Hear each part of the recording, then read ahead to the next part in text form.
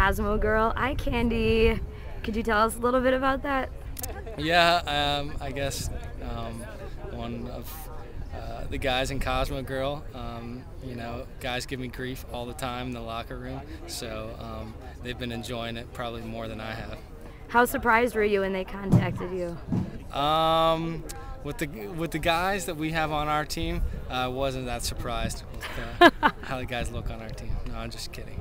Did you do a photo shoot or? No, I, I just actually had to send in a picture that I had, so it's pretty basic.